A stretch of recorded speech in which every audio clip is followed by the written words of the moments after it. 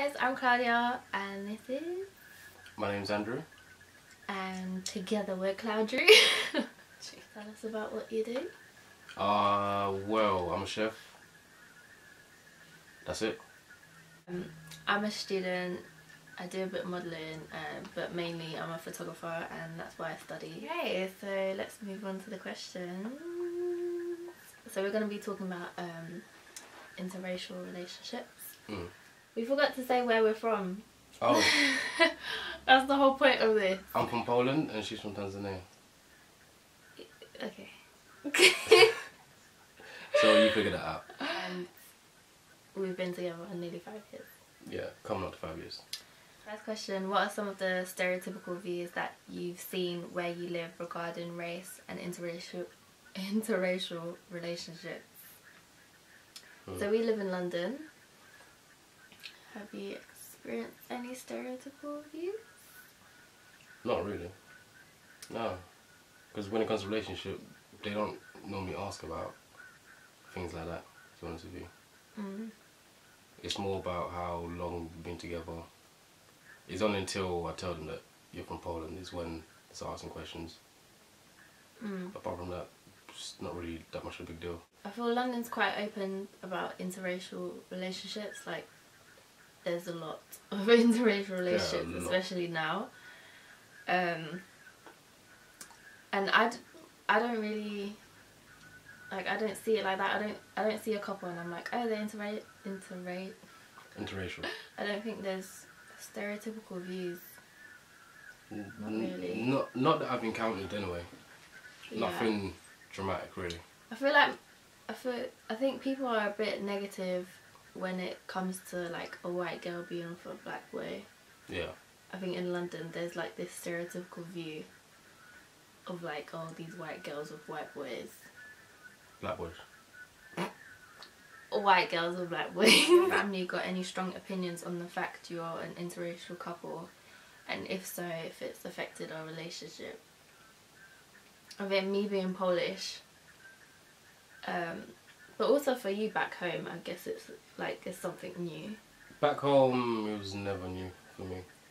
No, but as in like oh, someone um, that's Tanzanian bringing like a white girl, a white Polish girl home. Mm. To be honest with you, it wasn't a big deal at all. So is there a lot of interracial re- relationships like in Tanzania? Yeah. Yeah, yeah, a lot.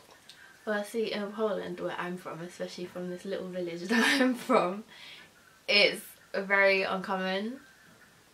Well, there's no black people where I'm from. Yeah, the um, there's no one apart from Polish people, so it's definitely something new for my family. Mm.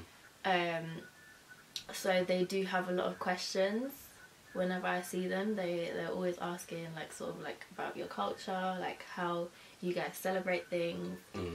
Um, like even when we went to we've been to like weddings, Mm. they always asking, oh like how do they celebrate it there and like they're open to learn about it. Um, Yeah. it's never been anything negative really. It's it's just something new and something they have to come to grips with. Mm. And um, yeah, but it was weird coming home. I guess Yeah. like I, I didn't I didn't really see Well, like I didn't take no notice of it. yeah, for you, no, but for me, Yeah. it, it, it was a lot of eyes and a lot of, like, you know, looking and just a quick glance. And Yeah. you see when you can tell someone's looking at you.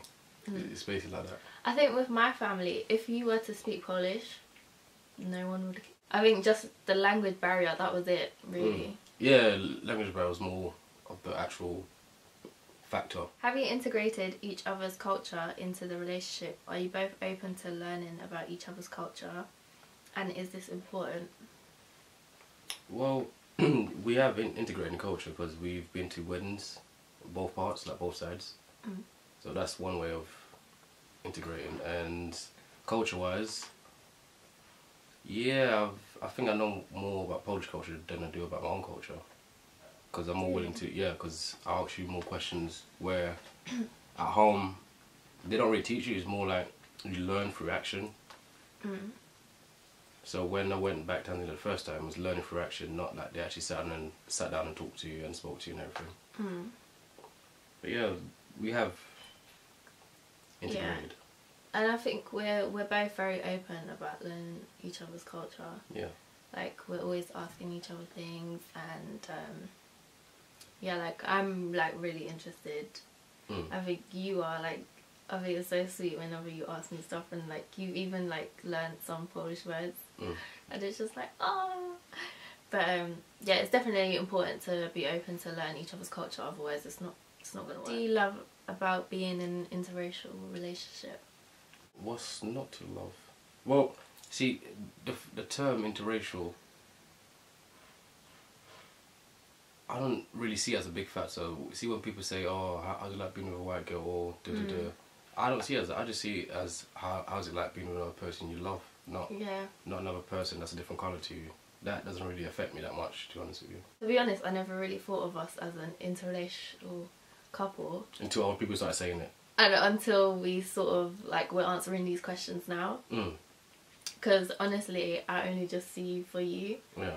it's not like oh yeah my boyfriend's black ah Yeah, Like- it- it's not like I go around bragging on my girlfriend's white, my girlfriend's white. yeah no, it's- like that's never something that comes out my mouth I'm just like yeah my boyfriend and then when people see pictures they're like oh he's black Same reaction to me. Oh, Yeah. your girlfriend's white, and then when when I say the Polish, you're like, oh, your girlfriend's Polish. Yeah. Oh, I'm like, Yeah. So I think that their more stereotypical views are more offensive to us because they always think negative about um, interracial relationships and how it affects us. But to me, it hasn't affected me in no way.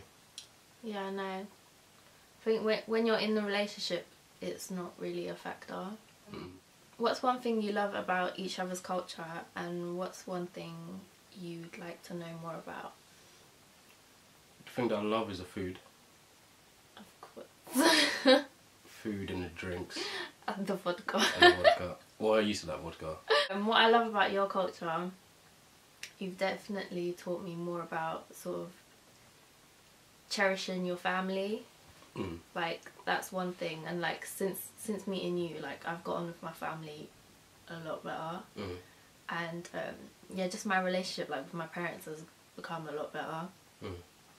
Um, so I, that's definitely something that's come from your culture. Just Mm. like seeing, seeing how your parents are like with your sisters and everything. Yeah. Do we have any advice for interracial couples?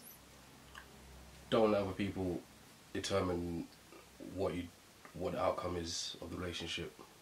So in a sense, like don't let other people's hateness and hatred Yeah. towards you affect the way you love each other, and don't let them s- say that oh all black guys are cheaters or you know etc. Or even if you your partner's opposite sex, don't let I mean the, the opposite race.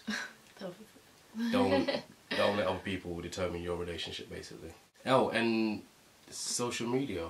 Don't let social media determine your relationship as well because nowadays relationships are a big factor through social media. You can Mm. make and break them. Don't let that determine how you and your partner love each other basically So don't let the negativity get to you. Even though I think it's it's becoming something less and le- like it's not something it's not a big deal anymore. mm. So I think it's not something to worry about really. no I mean, there's nothing to worry about. It's just another person. no you do get them odd racists like proper proper racists like from both sides Yeah, that when you talk to them and you say that oh relationship they, they start asking negative questions about parents and about other things like that but it's not really needed once you're in love Mm. you're in love there's, there's no other factor I think it's it's only the older generation. I think that has this sort of negative view on it, maybe. mm. But I think that's just down to not being naivety as well to be honest with you you yeah, just be naive and just they like they don't understand that it's okay to do what you want. I guess Mm. like love who you want. yeah they're just stuck in the old mindset basically. Yeah. Thank you for watching, and I hope this has been helpful to anyone out there. Okay, thanks for watching. Bye.